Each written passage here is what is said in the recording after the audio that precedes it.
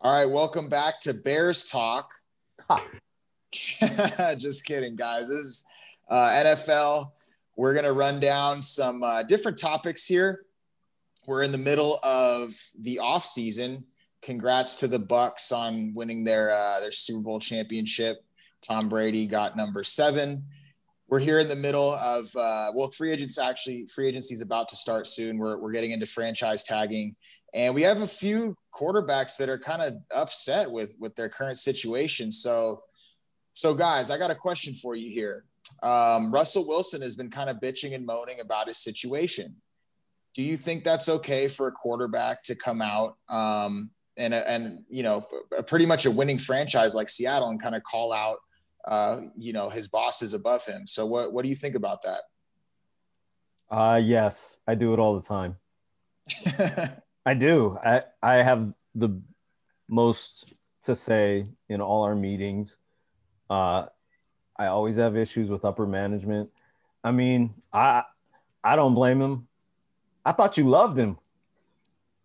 Me? Yeah. This is just for the show, man. I gotta, you know, do some Oh. different opinions here. I have no But issue with it Russell. because because if you don't, I mean, I know it was public, but I feel like sometimes you have to take certain measures to get something done. And in his case, he's not happy with the offensive line. Maybe he's gone behind the scenes 15 times over the last couple years and nothing's been done. So he's like, yeah, somebody's asking me. I'm annoyed, so I'm just gonna speak speak about how I feel. and Maybe they'll do something. I don't think he's gonna get traded, you know, but but yeah, I have no issue with it in this. I think he deserves to be able to say whatever he wants. I agree. he's earned that, right? Okay. yeah. Yeah, I, I think it depends on who it is, you know.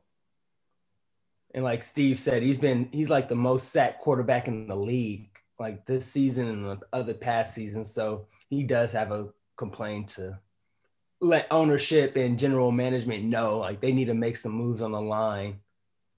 So you were okay with him coming out publicly and saying that on a I don't I can't remember if it was a podcast or a radio show or something.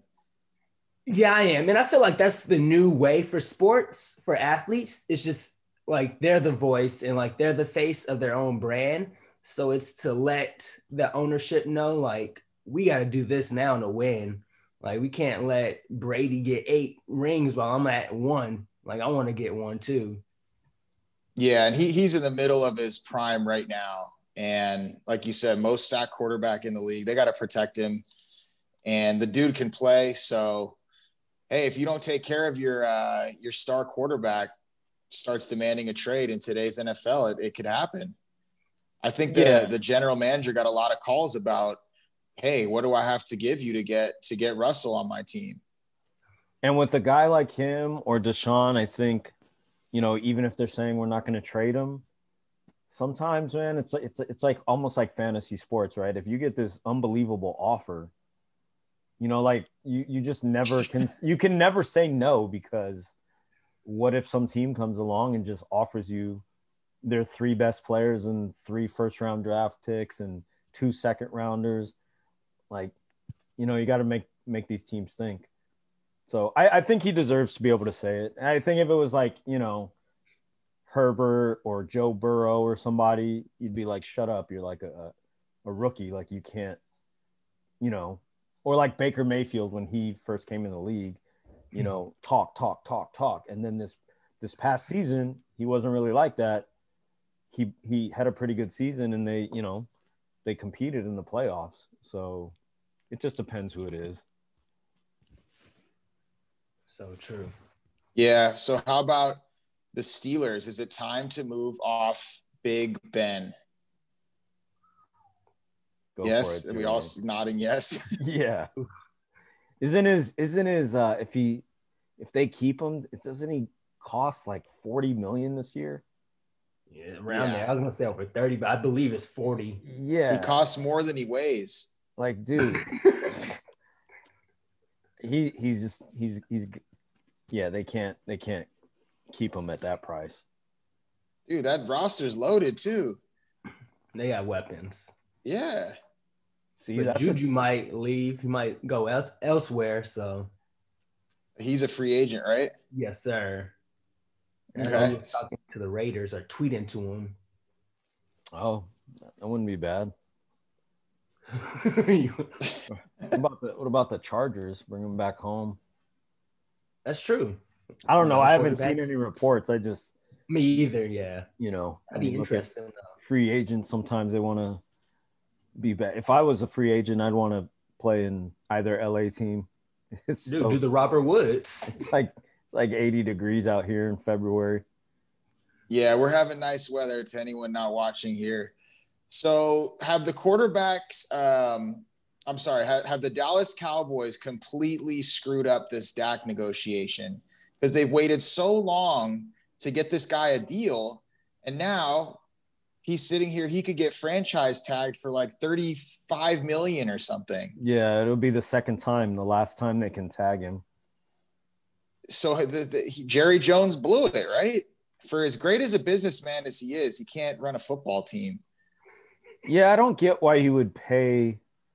I almost called him Emmitt Smith, Zeke, all that money, or some of these other guys, and then.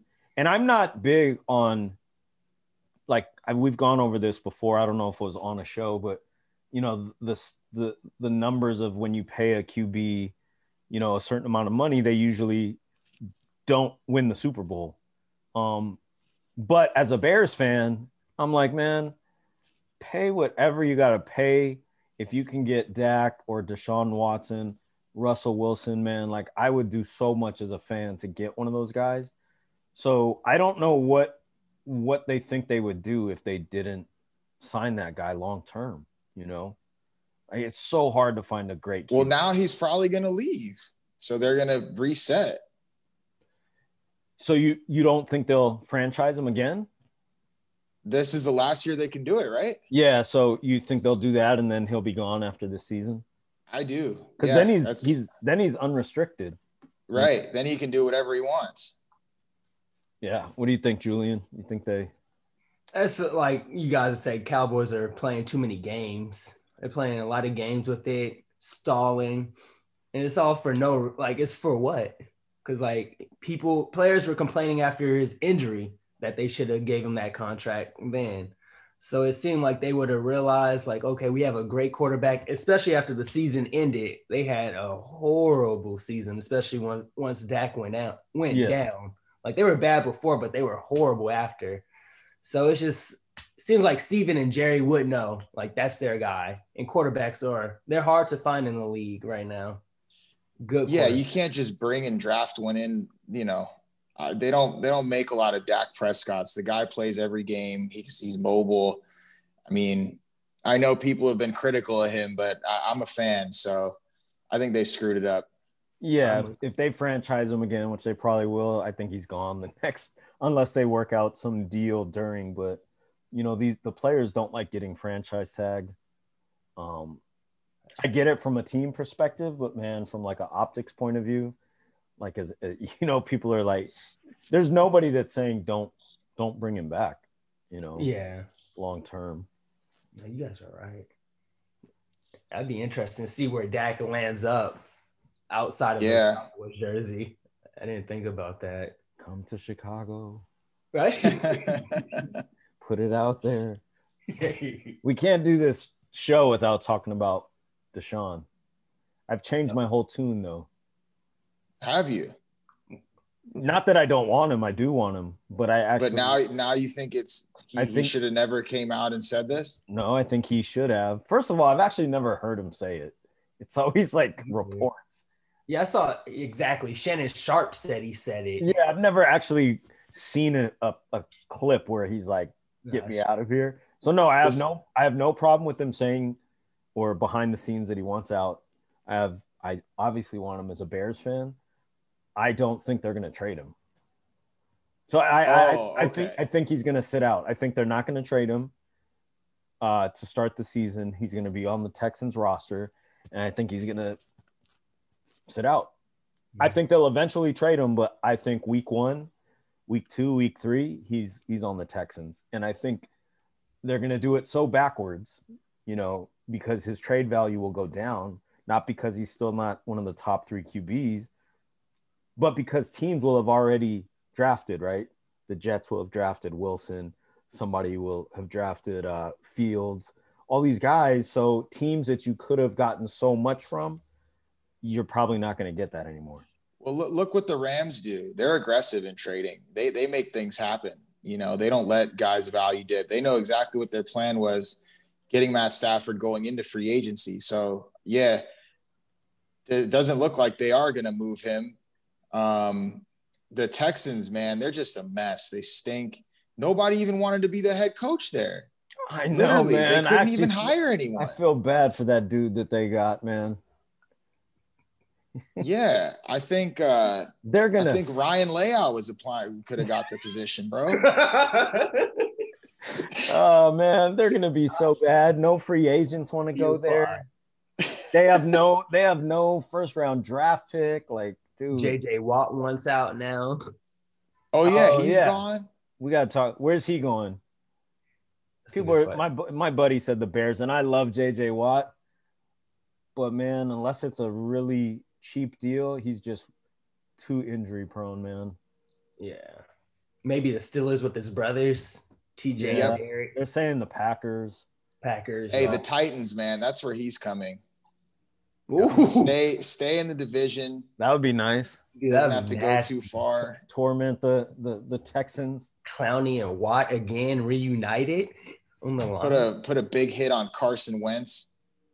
Oh gosh. Oh yeah, we didn't talk about that. yeah. You guys feel like they're a Super Bowl contender? No. The Colts. Uh, I do, yeah. Actually, I believe they're they're one of the best teams in the AFC right now. They they had everything on that roster but a quarterback. They have a great coach. When Wentz had his best season, uh, he was under Frank Reich. So yeah, I think they're they're definitely uh, up there in the AFC. I would put them up there with no, nobody's on the Chiefs level, but they're right below that. I think with the rest of like, um, you know, the Bills and maybe Baltimore, or something like that. For me, I'm just wait and see. I think uh, where he went was the best possible scenario for him. Um, if he went anywhere else, I don't think it would have been good. I think, I actually think the Colts, it was a great deal for them. They didn't give up a ton. Uh, so for me, it's just wait and see. He could, he could ball out. You know, they have a great O line. Uh, they have a solid running game. Um, so yeah, it just depends. I guess, I guess, I guess they got a great defense. I mean, they're they're contenders. You know. What do you think, Julian? True. I'll say they're contenders. I wouldn't put them in the Super Bowl contention race. Yeah, not It's yet. obviously like a playoff or bust year for them since they made it last year and lost, had a play, was a play away from tying it up. Yeah, that's true. They were. The running game is good too. It mm-hmm. is. J- Jonathan Taylor burst onto the scene. Late, exactly, at the right time. Uh, another quick uh, story I saw We got like uh, a nine, week or so. 90 seconds. Sorry. Oh, okay. This, Go for it. No, it was just the stupid hire by Urban Meyer, the guy that. Oh like, yeah. What is that, man? And then they let him go the next day. It's funny that the way you do things now, right? Like you think it's a good decision, but then literally Twitter just destroys you. And then you're like, oh, we got to fire this dude. yeah. 15 years ago, he's not getting fired. He's on Yeah, the that's true. squad. Everything is going to be done via, you know, uh, news reporters, interviews, sports center. Now, man, one bad thing, you make a mistake, you gotta you gotta clean it up real fast. You know, so he literally he was like, "Yeah, this is a good move," and then they're like, "No, everybody hates this. He's out." Which good. I'm, I'm glad. Like, but why hire the clown in the first place? Exactly. So Oh, that was a funny story. we can. Yeah. I I don't care if we go over. I could talk football all day. No, I think we should wrap it up, man. All right. Just because I think we got stuff to do today. You know, and uh, we're not getting paid for this yet, guys. So our time's valuable here. yeah. God, All right. We got we got we got 20 seconds left. Uh, okay. Who's winning the Super Bowl? No, We're out. Have a have a good week, everybody. right. Stay safe, Wait. everyone. All right.